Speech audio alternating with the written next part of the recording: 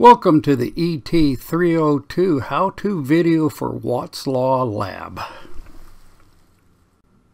Here we are at part 1A of our Watt's Law Lab and what we have is a circuit here and we have a 10 volt battery, a 1 ohm resistor, and we have a voltmeter which is going to measure our voltage across our resistor and we have an inline ammeter, which is going to measure our current.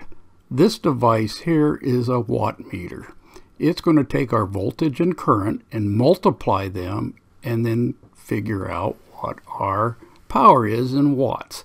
And this is going to use this simple formula, power equals volts times current.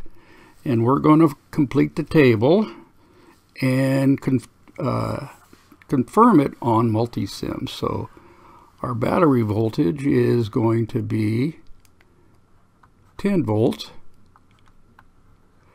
Our resistor voltage is 10 volts. Since we only have one resistor, it's going to use up all the voltage. Our current is going to be 10 volts divided by 1 ohm is going to be 10 amps.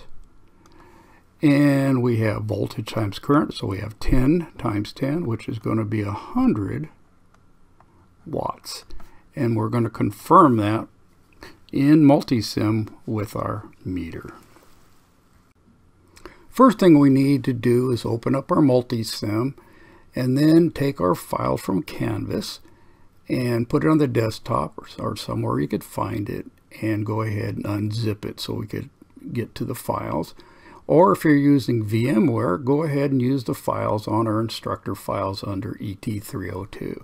So I'm going to find the files on my desktop. This is the uh, computer uh, version.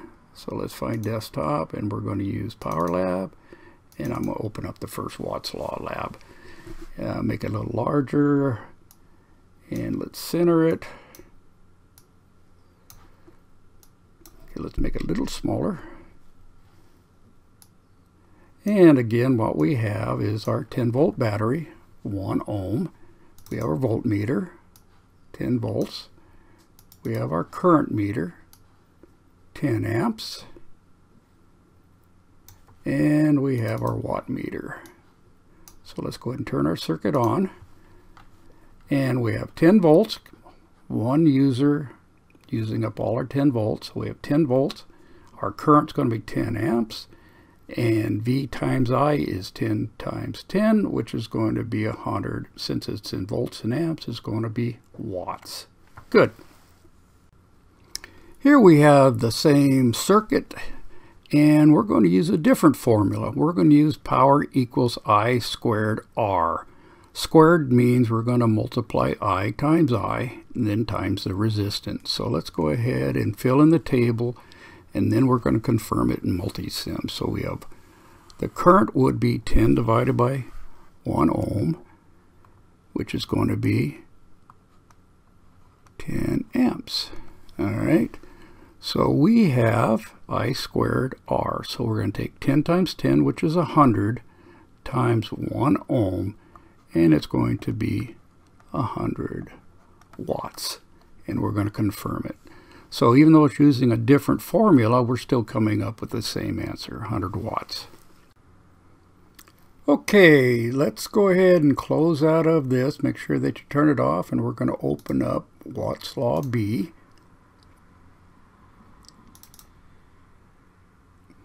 And here's our circuit. And let's turn it on. And here again we have V times I, which is 100 watts. But in this case, what we're going to do is use the other formula, I squared R. So we have 10 amps times 10 amps, which is 100, times 1 is still 100 watts. So it's working good.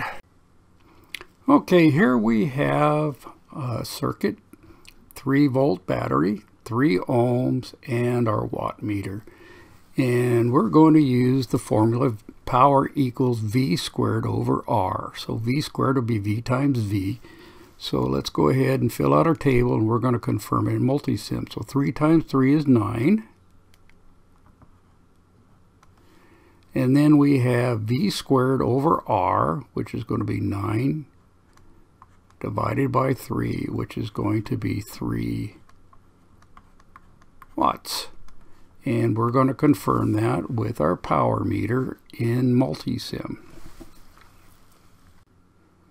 Okay, so let's close out of this one. Make sure we turn it off. And we're going to open up Watt's Law C.